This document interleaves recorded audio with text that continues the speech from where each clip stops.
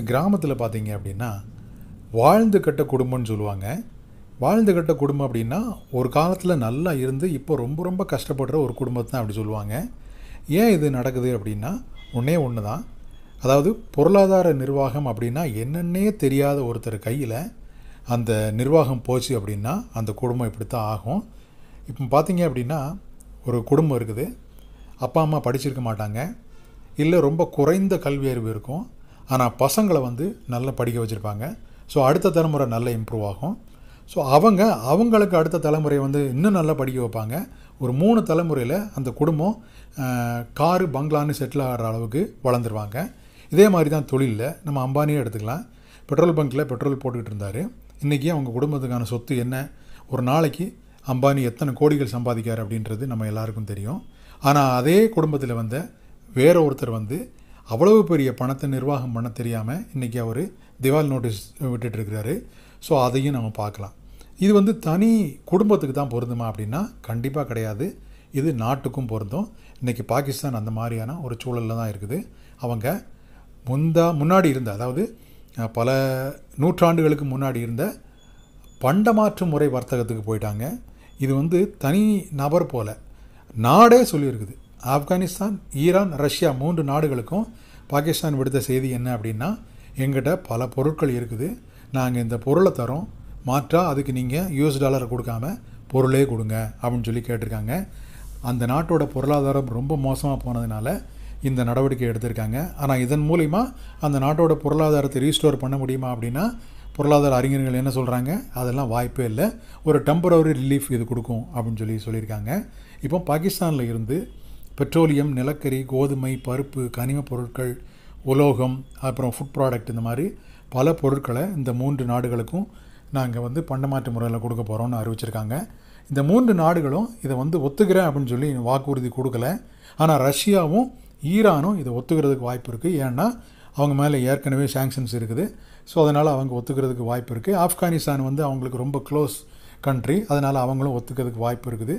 So இதன் மூலிமா பாகிஸ்தானோட அந்நிய செலாவணி வந்து வெளியே போகிறது வந்து கொஞ்சம் தடுக்கப்படும் அவ்வளோதான் பெருமளவு அந்நிய செலாவணி வராது. ஏன்னா இவங்க பண்டமாற்று முறை தான் பண்ணுறாங்க அதனால் அந்நிய செலாவணி உள்ளே வர்றதுக்கு வாய்ப்பு இல்லை. வெளியில் போகிறது கொஞ்சம் குறையும். அதுதான் வந்து இதனோட பெனிஃபிட்டு ஸோ இதே மாதிரி கரெக்டான நபர் நிர்வாகம் பண்ணாதனால இது வந்து வந்தது. ஸோ ஃபினான்சியல் மேனேஜ்மெண்ட் அப்படின்னா என்ன அப்படின்னா எனக்கு தெரிஞ்ச அறிவில் சொல்கிறேன் எவ்வளவுக்கு எவ்வளவு பண வரவை அதிகரிக்க முடியுமோ அவ்வளவுக்கு அவ்வளவு பண வரவை அதிகரிக்கணும். பல பேர் சொல்லுவாங்க நான் வந்து ஒரு வேலை பார்க்குறேன். அந்த வேலையிலே வந்து நான் ப்ரமோஷன் ஆகணுமா? நிறைய சம்பாதிக்கணுமா? அப்படின்ட்டு அப்படின்னு. நம்பர் ஆஃப் இன்கம் சோர்ஸை நான் சொல்கிறேன் ஒரு வேலை பார்க்குறீங்களா? பார்ட் டைமில் இன்னொரு வேலை பாருங்கள் அதுக்கடுத்து ஒரு புக் எழுதுங்க. ஒரு யூடியூப் சேனல் ஓப்பன் பண்ணுங்கள் இந்த மாதிரி இன்றைக்கி ஆன்லைனில் நிறைய ஏர்னிங் வசதியெல்லாம் வர ஆரம்பிச்சிருச்சு. ஸோ இதை உங்களால் யூட்டிலைஸ் பண்ணிக்க முடியுமான்னு பாருங்கள் so number of income streams அப்படின்றது அதிகமாக இருக்கணும். வேலையில் ஒரு வருமானம் வரணும். புக் எழுதுனீங்கன்னா அதில் ஒரு வருமானம் வரணும். யூடியூப் சேனல் நடத்துனீங்கன்னா அதில் ஒரு வருமானம் வரணும். இல்லை நான் வந்து என்னோட என் கையில் கொஞ்சம் பணம் இருக்குது. நான் அதை எஃப்டியில் போடுறேன். இல்லை ஷேரில் இன்வெஸ்ட் பண்ணுறேன் மியூச்சுவல் ஃபண்டை இன்வெஸ்ட் பண்ணுறேன் அதுலேருந்து ஒரு டிவிடெண்ட் மாதிரி இல்லை எஃப்டியில் இன்ட்ரெஸ்ட் மாதிரி வருமானம் வரணும். இப்படி பல இன்கம் சோர்ஸை ரெடி பண்ணும்போது தான் வந்து நம்ம வரக்கூடிய வருமானத்தை வந்து அதிகப்படுத்தணும். அதே நேரத்தில் நாம் பண்ண வேண்டியது என்ன அப்படின்னா வருமானம் அதிகரிக்க அதிகரிக்க நம்ம அறியாமலே நம்ம செலவை அதிகரிப்போம். அப்படி கிடையாது. எந்த அளவுக்கு முடியுமோ அந்த அளவுக்கு செலவை நாம் குறைக்கணும் சிக்கனமாக இருக்கணும். வருமானம் வருது அப்படின்றதுக்காக கண்ணாபின்னான்னு செலவு பண்ணக்கூடாது. இது சிம்பிளாக ஒரே வார்த்தையில் சொல்கிறது என்ன அப்படின்னா முடிஞ்ச அளவு வருமானத்தை பெருக்கணும் முடிஞ்ச அளவு செலவை குறைக்கணும். இதுதான் எனக்கு தெரிஞ்ச ஃபினான்ஷியல் பிளானிங் இதை இதை வந்து நாம் கரெக்டாக பண்ணோம் அப்படின்னாலே நம்ம எந்த ஒரு பிரச்சனை வந்தாலும் வாழ்க்கையில் அதை சமாளித்து வெளியே வர்றதுக்கான வாய்ப்பு இருக்குது. ஏற்றுமதி தரம் வாய்ந்த பொருட்களை நீங்கள் தேடிட்டு இருக்கீங்களா? உங்களுக்காகவே ஒரு சைட் கிரியேட் பண்ணியிருக்கோம். அதில் பல்வேறு ஏற்றுமதி தரம் வாய்ந்த பொருட்களை விற்பனை செய்யக்கூடிய விற்பனையாளர்களை வந்து லிஸ்ட் பண்ணியிருக்கோம். டிஸ்கிரிப்ஷனில் முதல் லிங்க்கை நீங்கள் கிளிக் பண்ணீங்க அப்படின்னா அந்த சைட் ஓப்பன் ஆகும். அதில் சர்ச் பாரில் போயிட்டோ அல்லது கேட்டகரிஸ் லிஸ்ட்டில் போயிட்டோ நீங்கள் பர்டிகுலர் ப்ராடக்ட்டுக்கான சப்ளையர் வந்து ஃபைண்ட் அவுட் பண்ணலாம். இல்லை நீங்களும் வந்து இதே மாதிரி பல்வேறு ஏற்றுமதி பொருட்களை ட்ரேடு பண்ணுறவராக இருந்தீங்க இல்லை மேனுஃபேக்சர் பண்ணுறவராக இருந்தீங்கன்னா இந்த டிஜிட்டல் மார்க்கெட்டிங்கில் வந்து நீங்களும் உங்களை இணைச்சிக்கலாம்.